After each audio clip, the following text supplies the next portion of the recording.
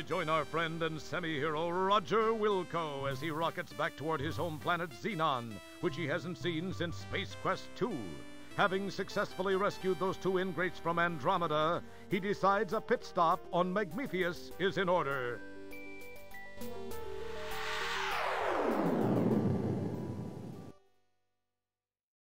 During the descent to this cosmic canteen, he is unaware of the interest that has been generated regarding his fate.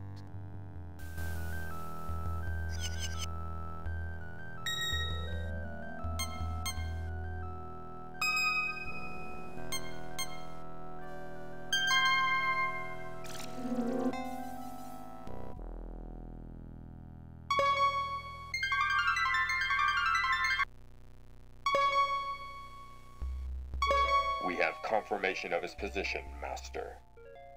Off to Magmethius with you then. It is time for Wilco to meet the fate which I have crafted for him.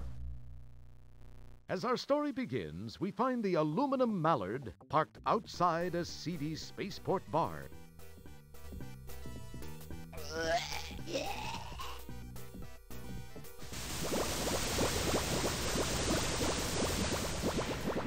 Join Roger as he relates one of his greatly exaggerated tales of adventure. The aliens are only too happy to listen, as long as Roger is buying. See, there is this deadly root monster, a ferocious swamp creature, and a Labion terror beast to contend with. Then I had to outsmart another of Vohaul's gorillas and steal the shuttle so I could. Are you Roger Wilco? Uh, yeah.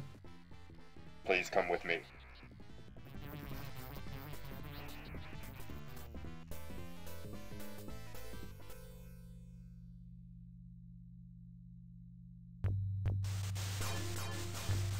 Hello, Roger Wilco.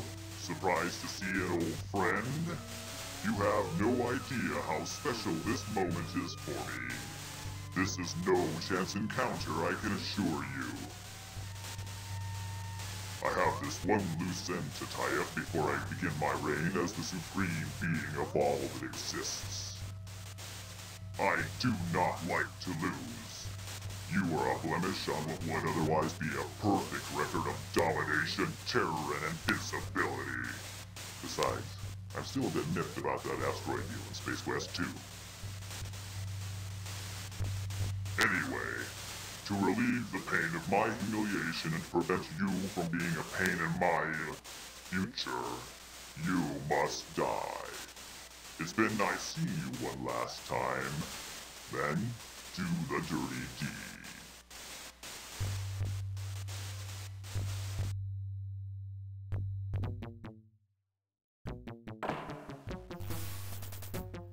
Left and split them up. Mr. Wilco, follow me and do exactly as I say. Let's move!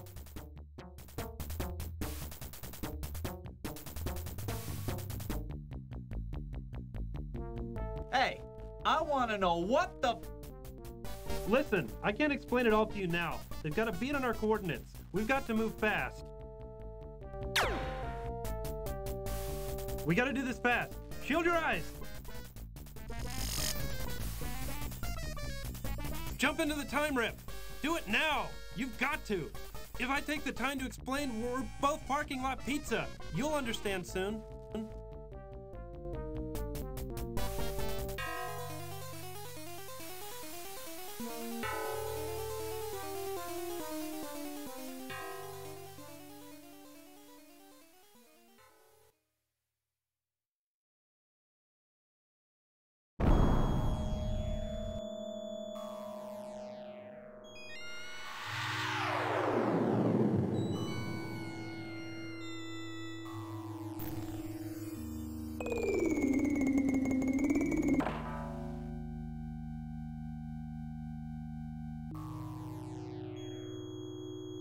Now, where am I? You wonder aloud to non existent auditory organs. This place sure looks homey.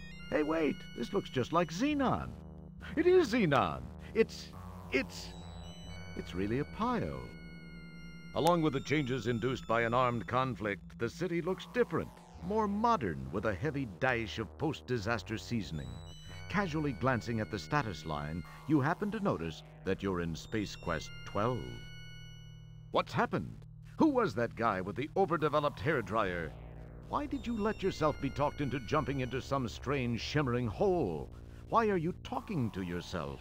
These incredibly intriguing questions will quickly be forgotten with barely an electron stirred in that well armored orb atop your shoulders.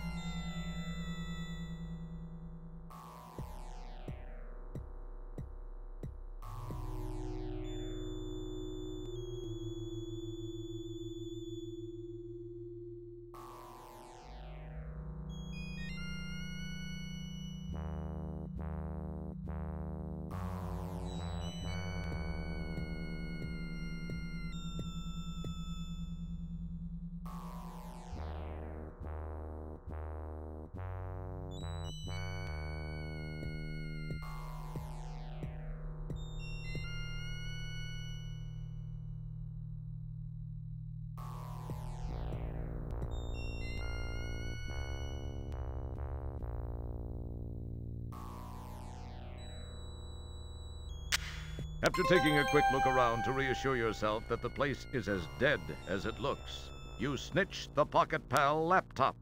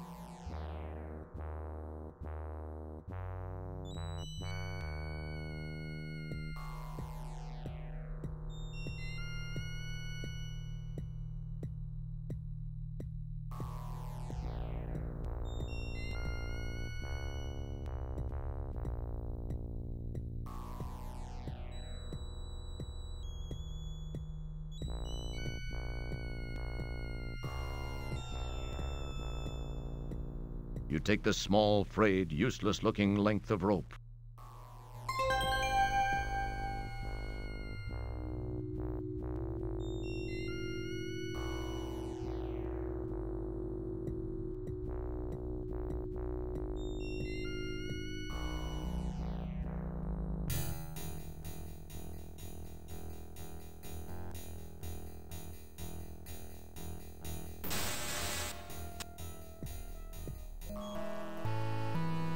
We're glad you could play Space Quest 4. As usual, you've been a real pantload. Are you sure you want to restart?